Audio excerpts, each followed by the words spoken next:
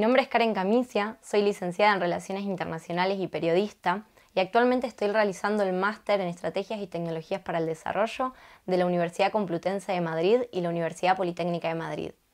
En este video les voy a contar mi experiencia de prácticas profesionales en el Centro de Innovación y Tecnología para el Desarrollo Humano ITD UPM.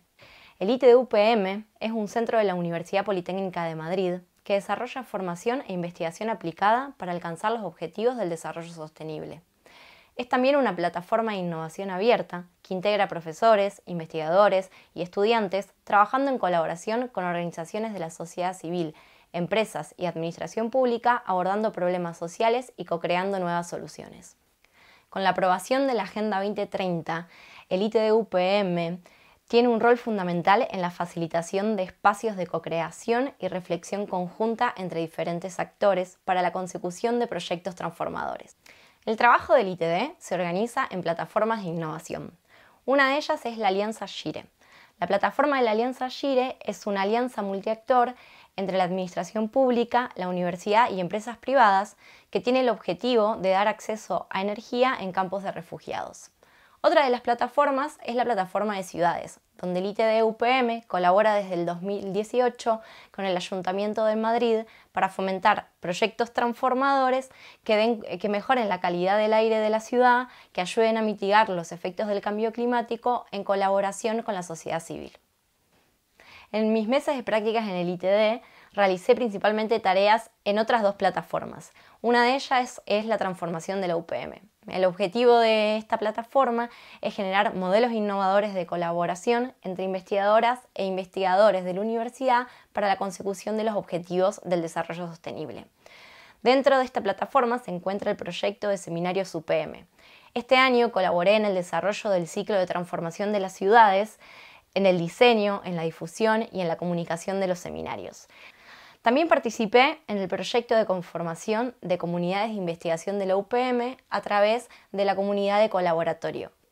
Durante mis prácticas también participé de la plataforma El día después será. Este espacio tiene la particularidad de haberse creado en el periodo más estricto del confinamiento debido a la pandemia del COVID y tenía como objetivo inicial al momento de su formación dar respuesta a la crisis sanitaria.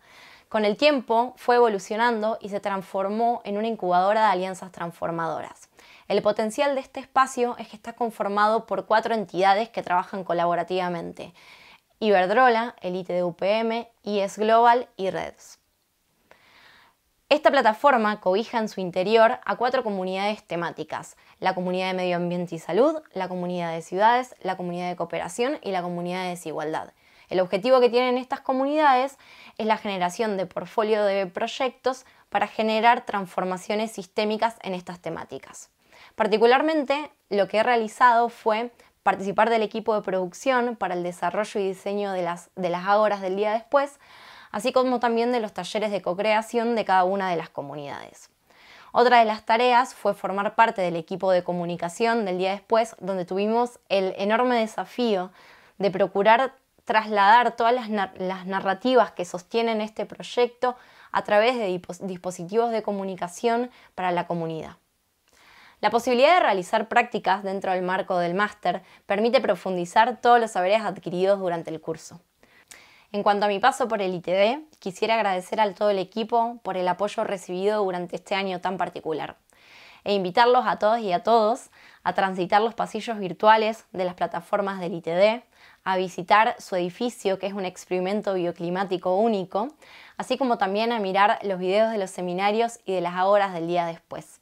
Esto los llevará a sumergirse en una experiencia de conocimiento de narrativas para la sostenibilidad y la transformación. Innovación para fomentar el aprendizaje cruzado y el desarrollo humano.